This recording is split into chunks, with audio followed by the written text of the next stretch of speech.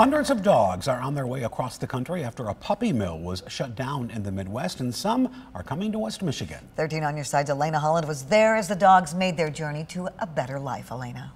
Well, there were a lot of really cute dogs today out there at the airport. 98 were brought to Michigan, going to shelters all across the state making their metaphorical first footstep. It's emotional. Or paw step. This is a big day for them because they're going to take their first flight. 98 dogs made the journey to safety. They've been through a lot. A lot of dogs saved from an otherwise desperate and dire circumstance. These 98 dogs come from a batch of more than 200 from a shutdown puppy mill in the Midwest. They likely lived in cages where they had little access to more than food and water, and they never, never received medical treatment.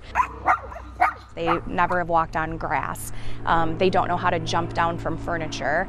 Um, you know, they haven't been used to having regular meals, toys, things like that. They're all different breeds and sizes. Everything from poodles to a mini Aussie to King Charles Cavaliers. No young puppies, these are mostly breeders. If you're going to a pet store and getting a puppy or you're buying online, the mom and dad are sitting back in a warehouse being forced to breed. Due to the sensitivity of the rescue, the Bissell Pet Foundation is not disclosing exactly where the puppy mill was, but they have been cared for by the National Mill Dog Rescue in Missouri since leaving the mill. Missouri is one of the number one states where puppy mills exist, but they are everywhere. There's some in Michigan. Jen Self-Aulgur and her team at Harbor Humane visited the rescue this week, selecting to bring back. Well, we originally said 20 and we're at 28. Well, they are cute. Being there, it was a little hard to pick. Now these dogs will get the medical care and attention they need, plus love. We are grateful that these pets are safe now. A big flight and a touchdown in the center of attention. It's, it's stressful for them. And yet, it's the first day of the rest of their lives.